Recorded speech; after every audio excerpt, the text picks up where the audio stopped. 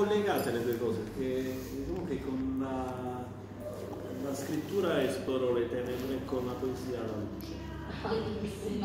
Io il contrario. con la poesia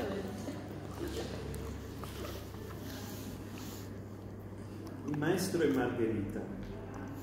Incontri obliqui agli stagni, ombre di rami, come rami, un ago spuntato nel cuore, olio di girasoli versato come un eloquio incauto. La testa, come il pianeta, rotola senza senso. Pilato è l'emicrania, la coppa di veleno, la fuga, il sollievo, la parola.